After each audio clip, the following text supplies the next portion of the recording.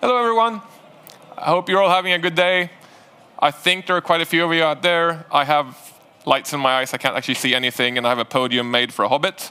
But well, I'll make it do and make it work. Um, so I, I, assume you're here for the ASP.NET talk about going beyond the introduction. Uh, if not, sucks to be you. Um, my name is Chris Klug. Uh, I work at a company called Active Solution in Stockholm, where we do custom software development for the Microsoft platform.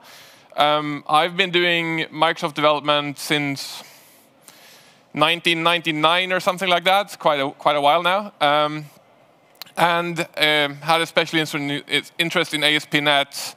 Actually, I started out in classical ASP. Has anybody tried programming classic ASP? Okay. This is, this is cool. People, there, there are older folks in the crowd, I'm sorry to say, but you're my age now. So, um, yeah so I, I, followed ASP.NET or ASP Classic into ASP.NET and then into ASP.NET Core, and I've enjoyed doing that. I, I actually managed to become Microsoft MVP on the ASP.NET Core stack, so I get to see some of the stuff uh, from the team's point of view as well. Uh, enough about me. Time for demos. I have no more slides. Actually, I do. I have a thank you slide at the end, but that's it. Other than that, we have code. So I want to highlight one thing about this session today, though. It terrifies me. It is really, really complicated. There are so many moving parts. I've made last-minute updates to it, uh, but I hope it's going to work. I have no idea why you're not seeing my screen, though. That, that didn't work out very well. OK, so while the crew tries to figure out why there's no nothing on the screen, because that we can all, I can do like this. So if you all look very closely, or maybe I can get my phone up and stream it on Twitch and you can all zoom into that or something. Um,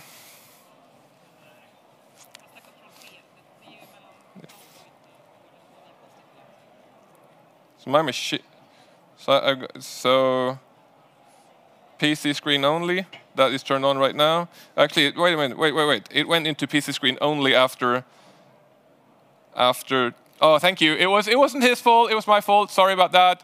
That took two minutes out of my time that I didn't have to get, get rid of. Anyhow, this is what I'm going to be working with to begin with. This is a very, very simple website about fantastic female uh, people uh, throughout history. And you can go into this and have more information about Hedy, Lamarr, for example.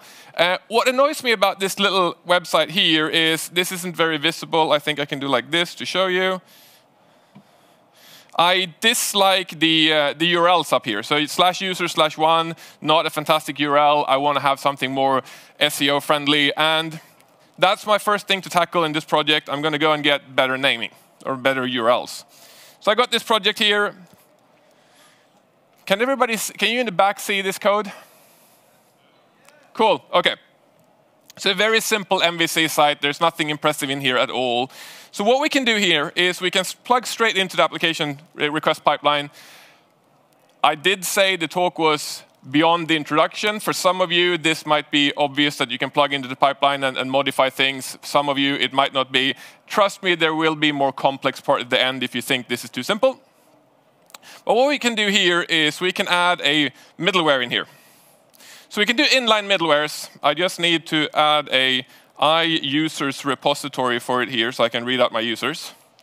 But the cool thing about the request pipeline that most people apparently don't understand is that the requ context request object, context object, or the uh, request objects in here uh, are actually read-write. Lots of the properties are readable and writable. So you can go in and modify them, which means that I can quite easily go into my request pipeline and look at this and go for the path, remove the slash at the beginning, have a look at the length of that. If it's only a slash, then I don't want to look at it. Otherwise, get substring one, replace, um, look at the, the uh, replace the dash with a, a, single quote. So basically, it looks at the name of what you're passing in. So if the path is slash Grace dash, uh, who was Grace? Uh, Hopper, sorry. It goes Grace dash Hopper, remove the, the dash between Grace and Hopper, figure out Grace Hopper's ID, and then replace the request path with users slash ID, which means that I can pass in a name, it changes the path, and when I call the next request pipeline, the next middleware, it will have the new path in there. And then on the way back out again, I just reset the path back to the original path, so any, any middleware coming before me will have the original path to work with. This is kind of nice because it means that I can do things like I can modify whatever uh, request uh, I want. So basically, I can look at changing whatever URL or whatever path I want. If I go back out here, we can now change this into Hedy. If I get a slash in there, that, that didn't turn out very well. It's supposed to be there. Hedy dash Lamarr. And that works as well. So now all of a sudden I can have nice URLs uh, which is cool. The only thing, if we start building our middlewares and we do this for every single middleware that we want, we're going to end up with a really ugly and complicated startup CS file. So we want to make this quite nice, or nicer at least, by adding our own custom middleware. So I'm just going to go and add a folder in here. M middlewares. Inside middlewares, I'm going to add a new class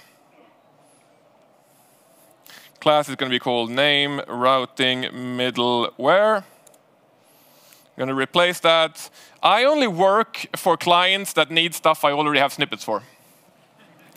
Makes life much easier. I, I can charge for an hour, and it took me three seconds to do. Fantastic work. So this is a middleware if you haven't seen one before, they're quite cool. They're a class. They don't need to inherit from anything. They don't need to implement any interface or anything like that. It's just a class, and it has to have a method called invoke async, returning a task and accepting an HTTP context. That's it. That makes it a, uh, a middleware. It also supports uh, dependency injection, so I can always go and say I users and get my users repository passed in, like that. Then I can go back out here and I can take all of this code here, cut that out of here, paste it into my invoke async method, replace this little call here for next. So what we do with await next is basically when we call await next, it's going to send the request on through the pipeline for any other middleware downstream. And then when it comes back up, this thing here is going to be after all the other middlewares have executed. So this is on the way back out again. So I get that in there, and all of a sudden I can make this a little bit nicer by having .use middleware. I can go name routing middleware. Missing a letter here, missing quite a few stuff here. Middleware. Using, like that. Looks a little bit better, right? Uh, than having that whole chunk of code, which then turns into more chunks of code, which turns into lots of chunks of code, and then all of a sudden your startup CS file is, is long, uh, thousands of rows, which is just not fantastic. However, if you're used to working with ASP.NET Core, you know that we have these use static files, use routing. Looks much, much nicer than use middleware of T, blah, blah, blah, which is quite easy to fix as well for me. So another class, going middleware extensions, extensions. It's hard to see up here. There it is. And for middleware extensions, I'm going to do, it's going to be an extension method, so it needs to be a static class. Doesn't spell like that, static class. And then I can add this simple helper method here that's uh, called name routing, use name routing. Use name routing is an extension on I application builder, and it just calls that same use middleware call that I had previously. Now, it's very tempting to go in here and say, I'm gonna, just going to go control dot and add a using for a Microsoft ASP.NET Core builder. I'm not going to do that. Instead, I'm going to go and I'm going to change my namespace here to Microsoft, microsoft.aspnetcore.builder. And then I'm going to add a using statement for my own middleware instead, like that. And the reason for inverting that and using Microsoft's namespace is that I know that the Microsoft ASP.NET Core Builder namespace is going to be used inside of the, or you have a using statement inside of startup.cs already because, well, I am using the I application builder in here, which means that anybody pulling in my class will automatically have use name routing without having to add in extra using statements to get the extension method to work like that. So if I run this, we should have pretty much the same thing I had before. I can go in here, I can go to this tab here, I can refresh Hedy Lamarr, and I got Hedy Lamarr, and if I change Hedy Lamarr to some other fantastic woman like Grace Hopper, um, that works as well, and I get Grace Hopper. Fine. There's a little problem with this code, though. Uh, the astute attendee here might have figured out that if I go back and I point at one of these things here, you can't quite see it, but in the down left corner here it says slash user slash one. So since I'm only rewriting the URLs or the paths coming in, then all of my existing URLs or paths are going to be wrong, right? So all links are going to point to the wrong place, and I could fix that. I could go into my code and I could replace all of these places and go and say this is going to be slash Grace Hopper slash Hedy Lamarr and so on. Or I can hack it. I want to have a massive caveat about what I'm supposed to do, I'm doing now, and that is please do not do this. It is a demo. It works fine for smaller things. If you go home and you put it into your web application that has hundreds of thousands of users, I'm going to bring, or you, sorry, you are going to bring down your server to its knees. That's just the way it works. But I want to show the demo anyway because it shows the potential we have in using middlewares. So if I go in here and I go right before the name routing middleware, uh, I can go and say BTI, let's pull in another middleware here. Here's another cool thing. So even the response.body is writable. I can actually go in and create a new memory stream, replace response.body with my memory stream, save a reference to the response.body, the real memory, the real stream, ask the rest of the middlewares to do their things, and they will write to response.body and push all their stuff to that stream, but they're pushing it to my memory stream. I've stolen your stream. Which means that when I get back down here, instead of just returning what they gave me back, I can go and say, hey, let me add some code in here where I will take whatever thing you had put into my stream, make it a string. Then for each one of the uh, users in my users repo, or actually I, I look at the regex and I see, is there anything inside of this string that contains slash user slash and an ID? In that case, I go in here and I say, for each one of the users, go in and replace slash user slash ID with slash user dot first name and user dot last name instead. Basically, rewriting every single URL going to user slash ID on the way out. This is really cool because it means that if I build this, that was not what I wanted to press. If I build this, and I run this application in my, my browser here, and I refresh this, and I point at this thing down here, it now says slash Hedy Lamarr. So now I am fixing my broken application by fixing my URLs on the way out and rewriting them on the way in. So I'm still calling the same endpoint in MVC, which is slash user slash ID, but I've rewritten everything on the way out. Fantastic. But Chris, are you stupid? Yes, at the moment I am. Because you're creating a memory stream for every single incoming request. You're doing a regular expression over that text that comes back, which might be massive because it might be a big page. And then you do a fantastic for each loop, looping over every single user in your database and doing replace for each one of them. Isn't that slow? Yes, it's massively slow. As I said, it will kill your web server, but it works.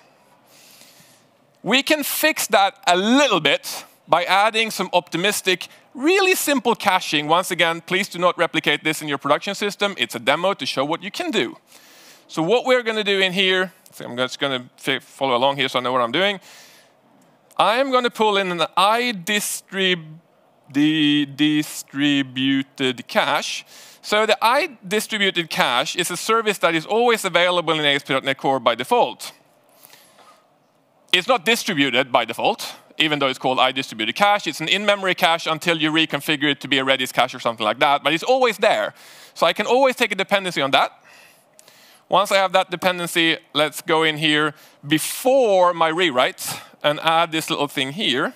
So I'm going to add another middleware in here. Look at the cache, trying to get anything out of the cache based on the path that I passed in. So basically, I'm caching per path, the way you do response caching. If there's something in the cache, I, respond, I return that, and I just return here, which means that I'm short-circuiting the whole request pipeline. by pulling it out of the cache. If it's not in the cache, I call the next, so basically carry on with the request. On the way coming back, it looks and says, did somebody add an uh, add to cache uh, to the items uh, array or items dictionary? In that case, please add it to the cache, whatever bytes are in that value, add that to the cache, and for the future, you can, will use the cache instead. And it adds a 10-minute timeout for my cache. Very, very basic cache. All I need to do is go in here. If I have made a change in here, I'm going to go ctx.items add to cache equals bytes. Yeah. Let's say that I was trying to be funny. There it is, bytes.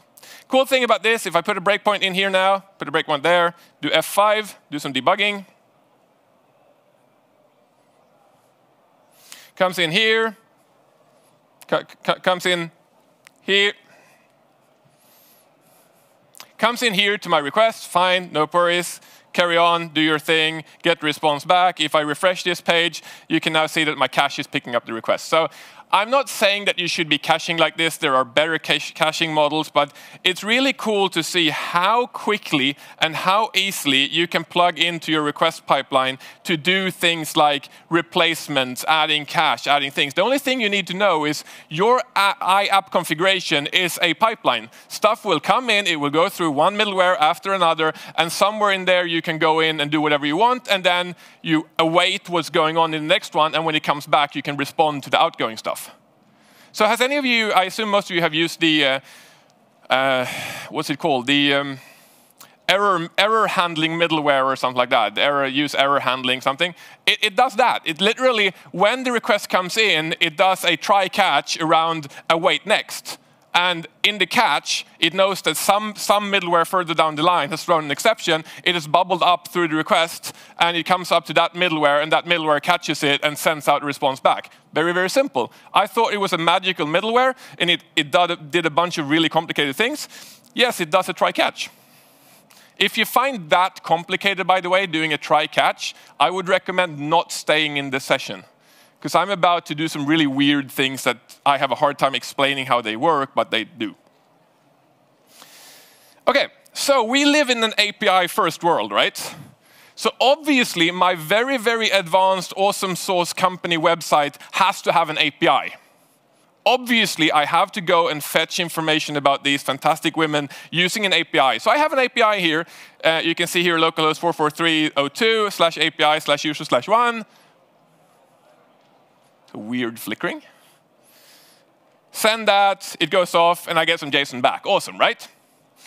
Well, JSON is fine, but I also remember that you should be able to go to your headers and add an accept header with text XML, and you should get XML back, right? This is awesome. I add that accept header, I press send, and I get JSON back.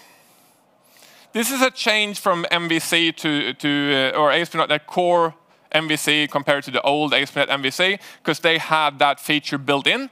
It is actually built in, it's just that nobody really uses it because apparently XML is not the flavor of the month. YAML is, which is way worse than XML in every single way. Um, but what we can do is we can go into add controllers with views, and we can add this callback. They have something called output formatters. So output formatters are responsible for what do you think? Formatting output. Named very wisely. What we can do is just go output formatters.add and then new XML serializer format uh, uh, XML serializer output formatter. I have not spelled that right. I actually spelled it right. Okay, just add one of those to your, your application. Very simple, add another formatter. That formatter knows all about how to do XML formatting for outputting things. So if I go back out here and I press send, ta-da, it's XML.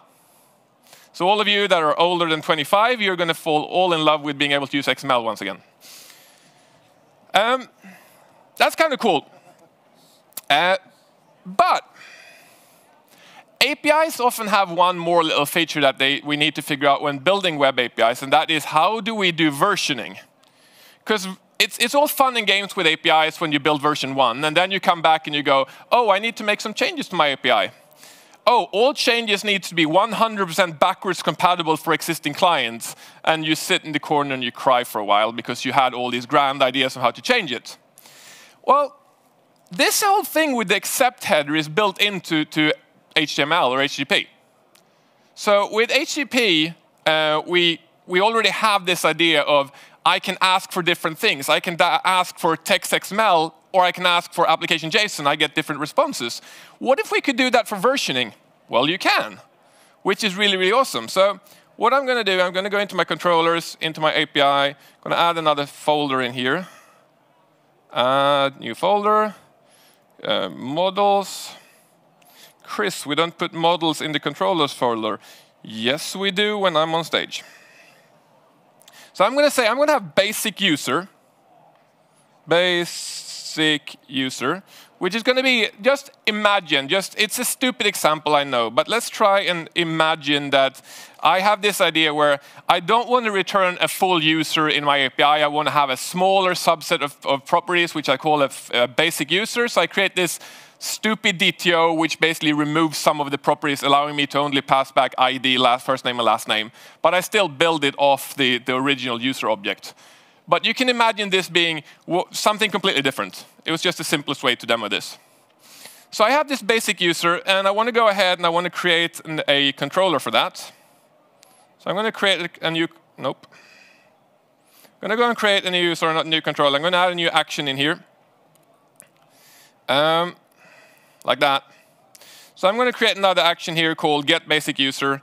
Uh, it's going to return a basic user, uh, and it's going to have the address slash user ID, which is exactly the same as the other one, which is obviously going to fail, because if you run this, it's going to throw a, a, duplicate endpoint exception or something weird like that, which isn't going to work. So the way, how do I differentiate between this new fandangled V2 version of my API versus the old one? Well, that's where the accept header comes in. And we can quite easily fix this and make it work by adding, I'm just going to add a little folder here to stuff my code in. I'm going to add an infrastructure file or folder. It's kind of like having that MISC folder uh, that you put everything in that you don't know where it, where it belongs. That shouldn't be in your project to begin with because you don't know where it belongs. So I'm going to have infrastructure. I'm going to add a, something called an accept header attribute. And I'm going to implement that like this. So I am creating a class called accept header attribute, which is inherits from attributes, so I can add it as an attribute. There's a lot of attributes in that, that statement. Uh, and it implements I action um, constraint. So the I action constraint method, Uh, or I, sorry, interface, defines a single method called accept and a property called order. We're going to ignore order because it doesn't matter. I'm just going to have one on each anyway, so the order doesn't matter. But the accept method takes a context and returns bool. And if you return false from that boolean, it says, no, this action is not relevant for this request. If it returns yes, it says, yes, this action is relevant for this request. So what I can, in this case, I just look at the, the route context, HTTP context, request headers, look at the accept headers, saying, is there any accept header that starts with whatever I have passed in here? Taking that accept header attribute, adding it to my, my method here, accept header, I can pass in my accept header, and there's a sort of defined standard that says you will use application application slash VND for vendor dot user for the type that I want. So if I use the accept header application VND user, I should now get this method instead. If I run this, if I go back out here, we remove that thing again, we send this request, I get the old one. And if I add vnd.user and I send that request, I now get, did I spell that wrong? Thank you for the heads up before I ran the code. Let's try it again. I get the short version.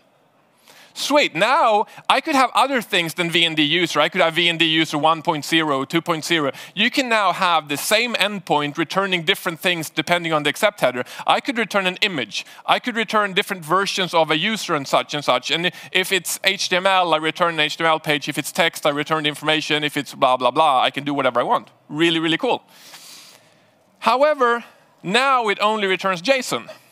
So a very common thing that we do is that we have this thing where we, we have a format which is VND user plus XML saying that I want the application VND user type, but can you please return it as XML instead?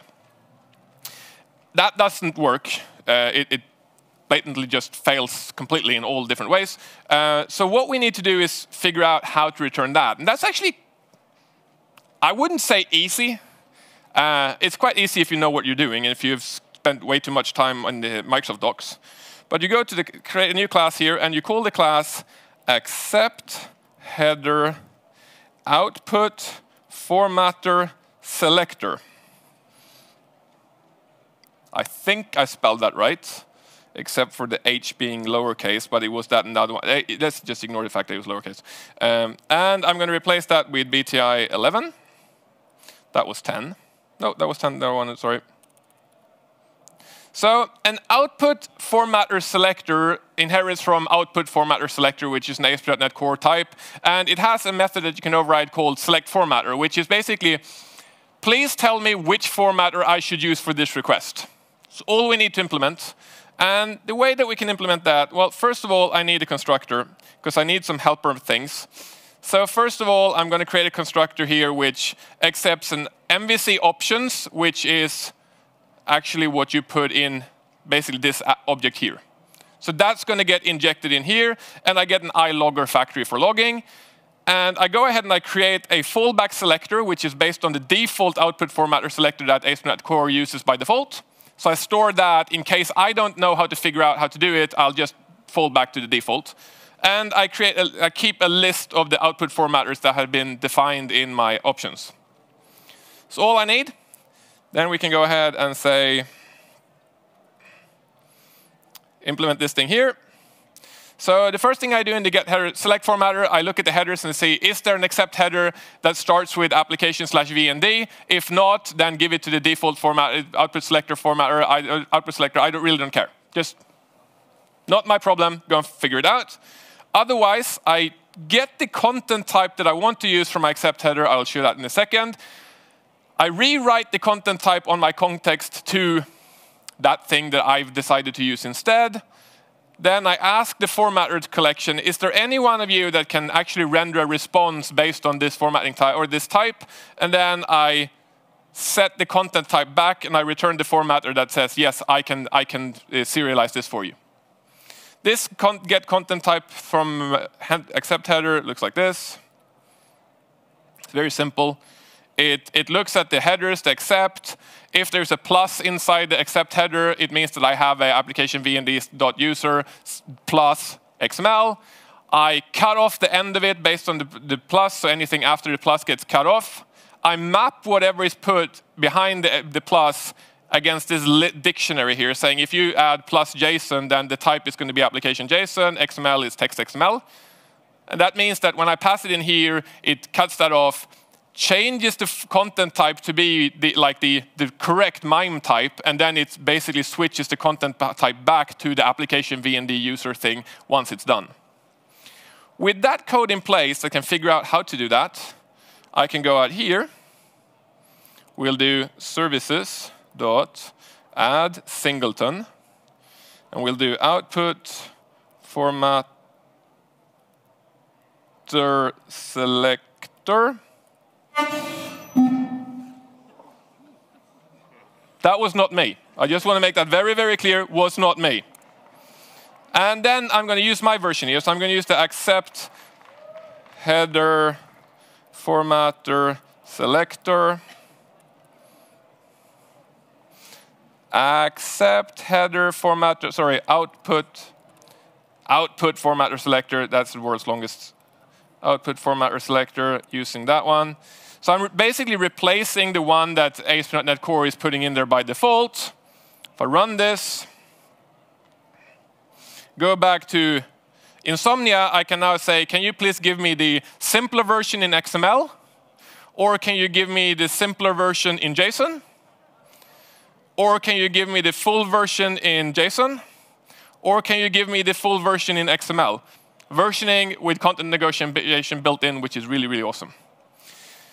OK, what else can we do? Well, if we look at this uh, controller I've got here, there's a little thing that annoys me. Actually, it doesn't, but I had to make up a reason for doing this. It obviously annoys me a whole lot that I have to do users.where user ID or where ID is in twice here. We don't want to repeat our code twice, right? What, wouldn't it be nice if we could say user and if I get the user passed in, I don't actually need that object, which means I'm not doing anything async anymore. So I can actually simplify it down to this. Much nicer. We can do the same thing here. We'll do user, user, unasync it, remove the user object here. That, that would be nice, right? Clean, simple. I get the object instead of getting the ID, having to look it up. Kind of annoying. And we can, we can sort this out quite easily. Once again, go add class, I'm going to add a user model binder. I'm going to create an implementation of that that looks like this. So an, a model binder implements iModel binder. All it really has to do is implement this one thing called bind model async. It gets some form of context, returns task. Inside this, I need to figure out how to bind whatever into whatever. So in this case, whatever into whatever, this is really crappy explanation, but it's kind of like the, the requirements I get from, from customers. Um, I'm going to start off by checking if the binding context is null. In that case, uh, I throw an exception. Then I look at the binding context.model. That thing contains the name of the property or the parameter that I am trying to model bind. So in this case, it is going to contain the string user. Then I take the user and I add an ID at the end, assuming that somebody is going to pass a user ID value through a post or a get as a query string parameter or something like that. So I asked the value provider, can you please get me a value passed from the user which is called user ID? If there isn't one, then something went wrong, just I'm not interested, I'm not going to model bind this for you, go and do something else. But if you're giving me a value, I will pull out the first value, once again check, is it null or empty? If it is, then return. Otherwise, use the value that I got out of that, which is going to be my user ID. Try and get a integer out of that. If that fails, add a model state exception and, and return because somebody has passed in user ID ABC, which is not valid. So throw an exception, and it actually returns a proper error message in the, the response.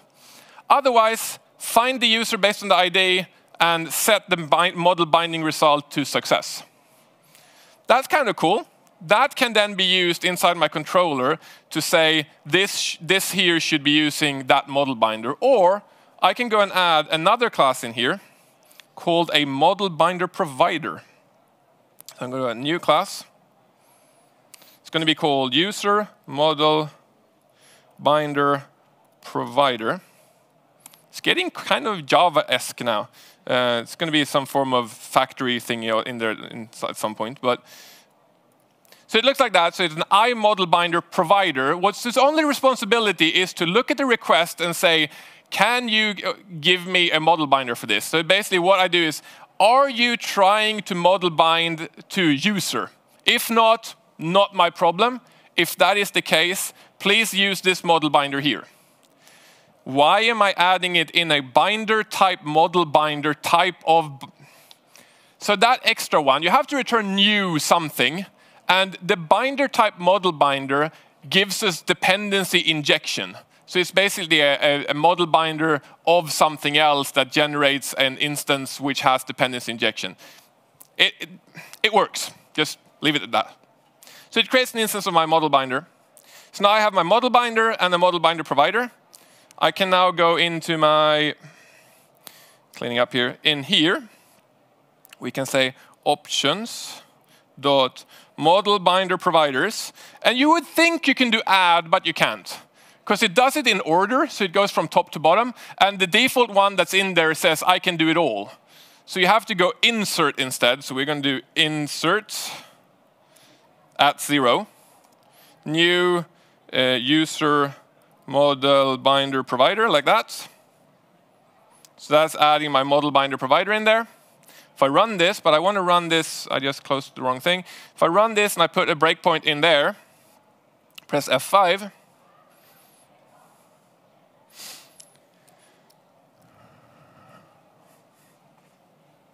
Actually, this is not even what I'm waiting for. We should go over here. Sorry. Uh, if I run this now and I do send, that jumps straight in here. And look at that. My user is now bound to an instance of services entities user. So I don't need to do that lookup. That's been done in the model binder for me instead. Awesome stuff. There is a little caveat. If you read the docs for it, it says you should never do what I just did. Uh, don't run off to the database in the model binder. It is meant to basically take a complex type that you send from the client and basically take that complex type and turn it into a class. It's not supposed to be you send an ID and I run off to the database because there's a ton of errors that can happen when you run to the database and not all of them are great in a model binder, to be perfectly honest. So all of the demos I've shown you so far, they're really cool. Please don't do them when you get home. We, we agree on that? Now, some of it you can do, and this works. I just want to, for my MVP's sake, I don't want to get thrown out of the, uh, the program just because I'm telling you to do things you shouldn't do. I want to have the caveat in there that somebody smarter than me has decided that you shouldn't do what I just did. So, I have another demo here. I have more demos. Uh, let's go into my other fantastic project. Uh, let's do set a starter project. That's the one. This is the uh, Enterprise Employee Management Inc. I, am never going to start a company on my own, that's for sure, because I have no idea what to do. So it has a little login here. I log in as Grace. think that's the password. Yes, it is.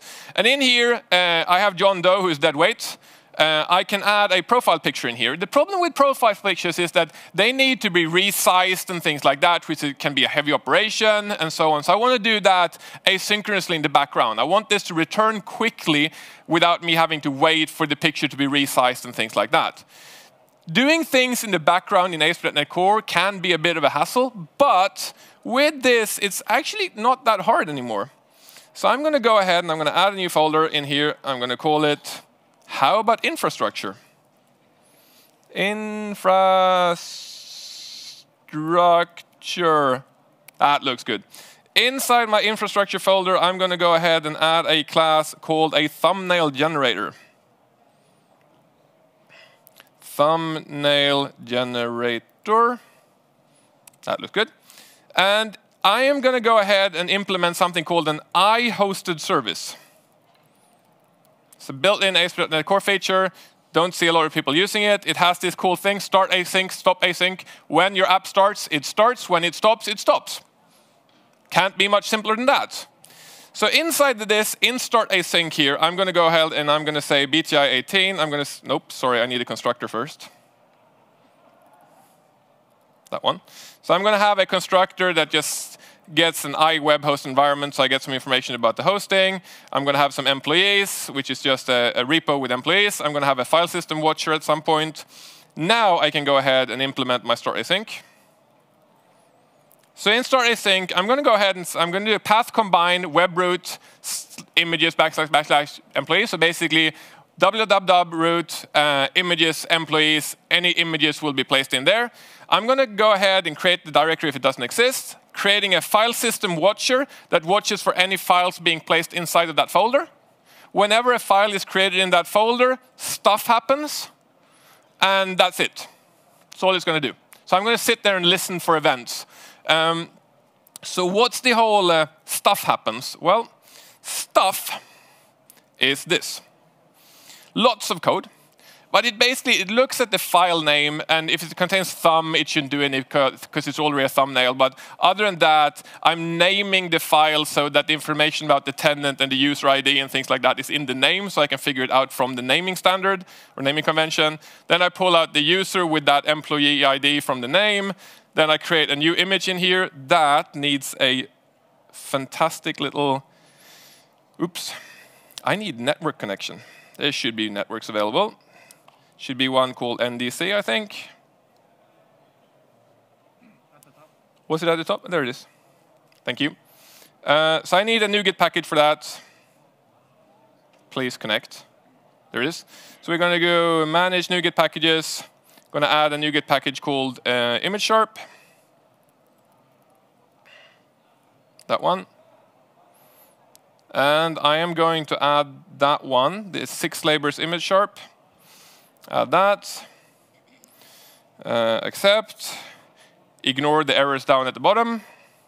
They are there for a future demo. Then I'm going to go in here and I'm going to say this image here comes out of SixLabors ImageSharp, and this thing here is an extension method from ImageSharp. What it does, it resizes my image and, and saves it as dash thumb. That's what it does. Nothing complicated at all. Uh, and there's an ugly exception at the bottom, or a thing at the bottom where sometimes the file is created, and if it's big, it hasn't released the file before this gets executed. So if that happens, then just run the code again. If there's any other error that happens to be there, I'm just going to run for an eternal loop and basically bring the web server to its knees. But once again, it's a demo. It works. Um, and then in my stop async, I'm going to go ahead and say when that, the web application is stopped, then stop listening for file changes, turn off the uh, file system watcher, and dispose the file system watcher. That's about it. If I go ahead and I add a breakpoint there and I press F5, and for some reason, I'm not very religious. Actually, I'm not religious at all, but praying comes natural when you press F5 at the demo with people in the room just happens to be like that. So I go in here, I go add profile picture. I show, show, choose a file here, so we go Chris, upload. Why did directory not found? Oh, no, no, sorry, I missed a thing. I missed a step. That's why I have the iPad. It tells me what steps to do. Sorry, it needs to be added to my, sorry, services.add hosted service. I need to add it in here, of course, to tell um, generator tell MVC or sorry .NET that it exists. So I'm going to add thumbnail generator like that. Sorry, let's try that again. Maybe. Here it is. Maybe.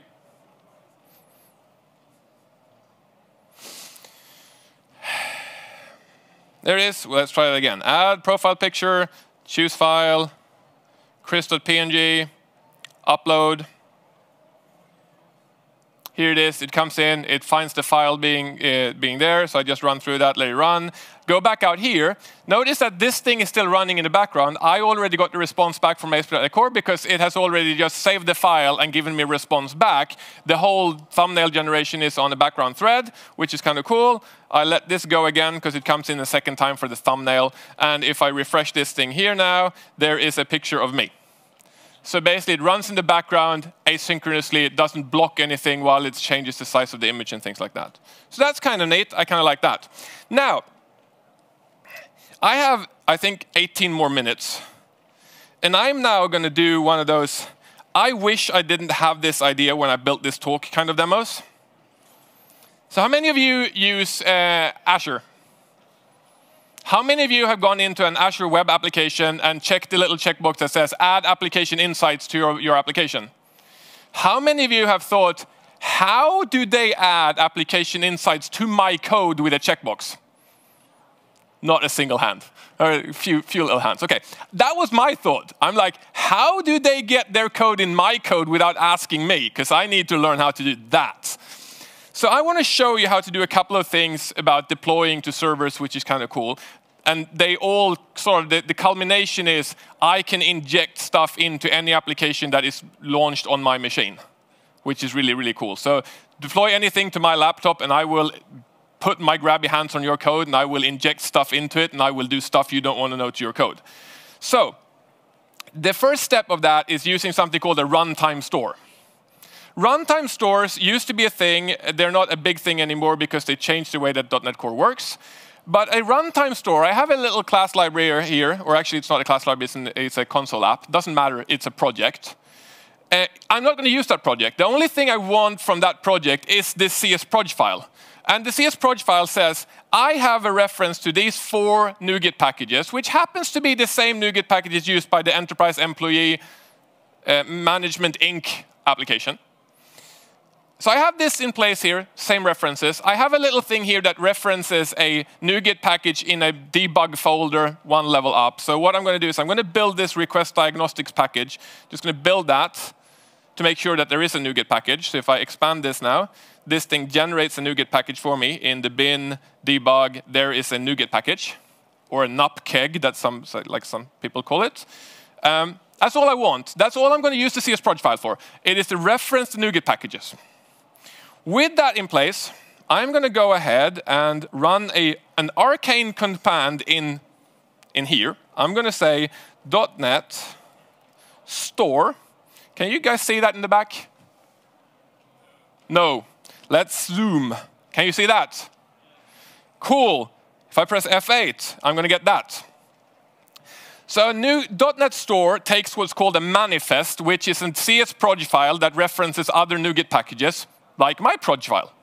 Then I tell it that I want to create a runtime store that's going to contain these assemblies that I can put somewhere on a machine so that other people can use it. You can see it. I'm going to swear now in church, I'm well aware. You can see it kind of like a global assembly cache. Ooh. But you control it, and it's nothing like a global assembly cache at all. But it's a way for us to deploy assemblies to a machine and have applications on that machine be able to be deployed without those assemblies and use the pre-deployed ones on the machine, which means that if you have a lot of assemblies that you need for your deployment, you can go and say, preload these on the server and just deploy the things I've changed. So what I'm doing here is I'm defining the runtime store containing my four NuGet packages, and I'm saying set it up for Win10 x64, put the runtime store at C colon demo, and skip optimization. I used to say in my demo that I don't know what that does. I'm going to say that again. I have no idea what that one does, but if you don't add it, the whole thing blows up in your face with a massive error, and if you Google it, it says add skip optimization, you're good. So I added skip optimization. What this does is if we go explorer c colon demo backslash runtime store, this, uh, oh, this is going to be hard for you to see, I'm sorry about that. But in here, it basically creates an x64 folder, net50 folder, and one folder for each one of the NuGet packages that I had a reference to. If I zoom in like that. And a, a, uh, an artifact.xml file. So if I take that artifact.xml file and I add that to my project here, we can see here, it basically just says that in this runtime store, you will find these assemblies. OK, that's kind of simple. Don't mind that too much. Next step. Go back into the console, clear the console, and then inside here, let's go ahead and say .NET publish. And since I'm, I'm, I type really poorly, I'm going to use that one. So I'm going to do a .NET publish of my Enterprise Employee Management Inc. project, do release build, and publish it to C colon demo publish folder. Run that. Run that. There it is. We'll do the Explorer thing again. But in this case, in this case, I won't go to that folder. I will actually go to this folder here, the publish folder, and you don't need to see what's in here as such, but what I can tell you is there's a bcrypt.net core, there's a Newtonsoft, there's a SixLabors image sharp. Yeah, it's what you expect from a project like this, because that was what I had referenced. If I go out here, and let's go ahead and just kill that publish folder completely, just delete it, Do we want, yep, like that. Then we go, I shouldn't have closed that. Let's do .NET publish again. But this time, I'm going to add this extra parameter called dash dash manifest, and I'm going to point it towards my artifact XML file that says this runtime store is already available on the machine, so anything inside of that you don't need to bring on your own. Build my application again. And all of a sudden, in my publish folder, all of those assemblies are now gone. They don't need to be redeployed because they're already on my machine. Sweet, faster deployments, no worries. Ish. The next step happens to be that you have to add a little environment variable for this to work. So let's go ahead and add that environment variable. I just need to figure out that spell this correctly. So it's going to be, actually, we can start out by this first. Let's do cd publish. Let's do .NET enterprise application thingy. That thing, run that, and it says, "Who cannot find bcrypt.net." No, it can't because there is a runtime store on my machine. I said it was like the GAC, but it's nothing like the GAC. It doesn't know that it exists. I actually have to tell it that if you there is a runtime store, and here is the runtime store for you.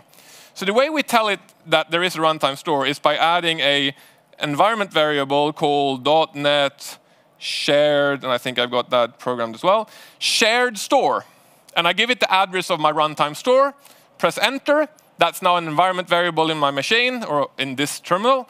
And if I run my .NET command again, it will now run the application without a problem because even though the file is not in, the assembly is not in the bin folder of that application, it knows that there is an environment variable that tells it that there are assemblies in my runtime store, which is located over here, so it loads those things as well.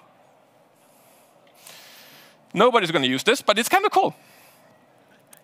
So let's take this for a, a, a further, further trip down the rabbit hole, because uh, I'm going to make this worse. Uh, I want to do the whole, I want to put my grabby hands on your code and inject stuff into what you're running. How do we do that? Well, let's see. There are many steps here, and so far I don't think I've managed to do this demo once without it failing, at least once for me. So please bear in mind that when I, when I fail with this. I have a little request diagnostics project here. It has an, a diagnostics log implementing iDiagnostics log. It's a really stupid log, and it once again, it will bring down your web server if you actually use it, but for the demo it works. It basically looks at every single incoming request. Uh, sorry, this, next part. This part here will just store every single log entry as a list, and whenever the application is stopping, so I can do the application lifetime application stopping. I go and say file write all text to basically store the, the log entries into a TXT file. So when I start up the application next time, it reads up all the, the log entries into memory. So over time, I'm going to fill up your memory with log statements. Once again, it's a demo. So that's all that log does. And then I have a diagnostics middleware which is a middleware that I can plug into a request pipeline.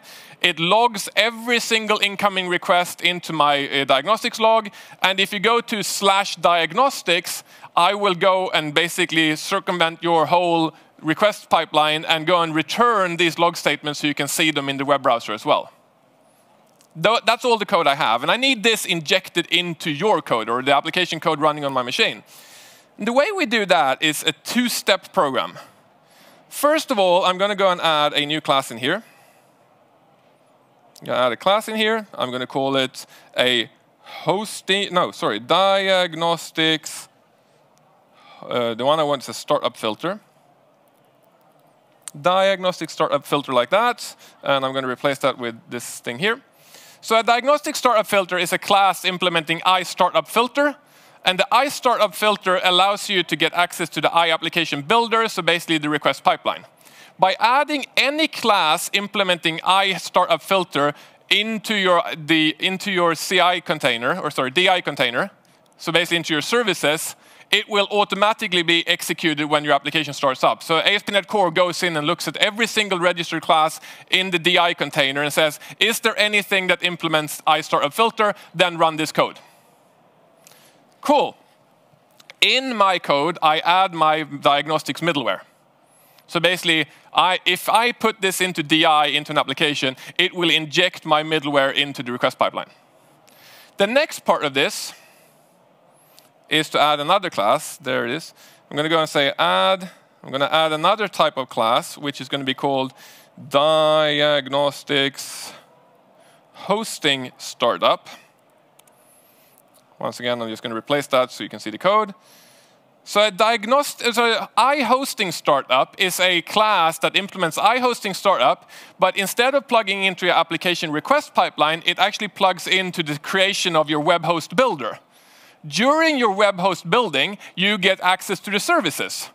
So using this thing here, I can go and add my iStartup filter, diagnostic startup filter, to the DI service and then that thing runs and attaches to your request pipeline. And to be able to get this to work, I also need to add an assembly attribute here saying that this assembly contains a hosting startup that needs to be executed, and here is the class that implements the iHosting startup. With those two things in place, I have everything that I need to jack myself into my code. So what we're going to do here is I'm going to go and I already have a NuGet package version 1.0.0. So to get this to work, I have to go and change the version of this NuGet package to 1.0.1. Might be more than a 0.01 update, but it's, you get it. It needs a new version, that's all I need. Then I'm going to build this thing to make sure that I get a NuGet package. Let's see if I get a NuGet package called one here. So bin debug. There's a 0.1 package version of it now. That's good. This thing here, my store, has a reference to 1.0.star, so that's happy-go-lucky. So I'm just going to rebuild this to make sure that it creates, gets the NuGet package needed, so and so on. And then I can go back out here and I can recreate my store with .NET Store. .NET Store, like that. So I'm just going to recreate my store to get my version 1.0.1 into my runtime store as well with a new version.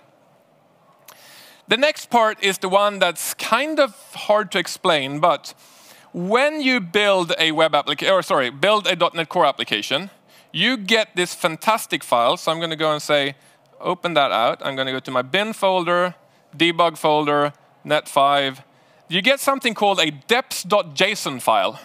The deps.json file tells the runtime that when you load this assembly, you need to load these other assemblies as well. So these are, this is my dependency list. So I'm going to take this, this version here because it contains everything needed to run my NuGet packages. And I'm going to go and say you don't need to load the runtime store. So I'm going to remove the runtime store from the libraries that needs to be loaded, like that. Save that file again. Go back out here, and I'm going to copy that file. So I'm copying that file, the, uh, the runtime store.deps.json, into a folder underneath shared Microsoft ASP.NET Core app 500 diagnostics.deps.json. Copying that file across, it's a file. That means that there now is a file on disk called uh, diagnostics.deps.json in a very specific location, which is underneath shared Microsoft ASP.NET Core 5. Um, with that in place, I can now go ahead in here, and I'm going to add two more environment variables. I'm going to add one called .NET additional deps. That says that when you load an assembly on this machine, there will potentially be an additional dependencies that you need to load as well.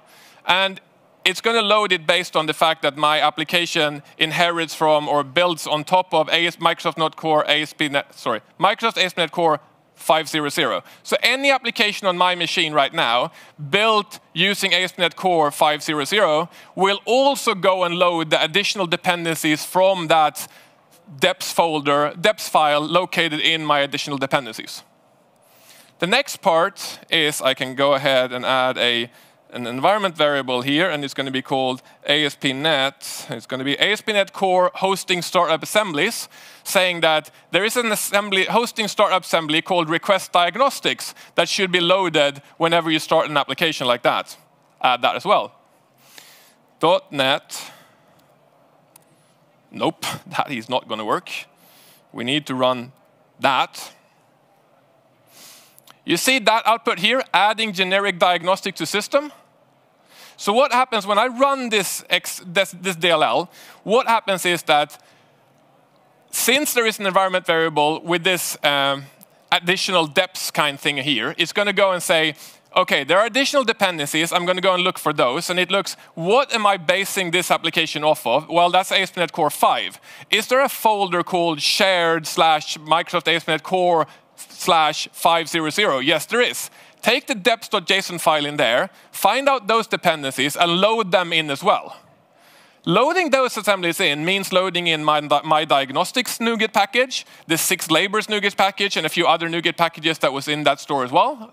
Um, and now it knows that those needs to be loaded into memory as well. Then ASP.NET Core starts up and starts running the application. It says, oh, there is an ASP.NET Core hosting startup assemblies environment variable saying that there is an assembly called request diagnostics that contains a hosting startup thing. So it goes and says, have I loaded a, an assembly called request diagnostics? Yes, I have.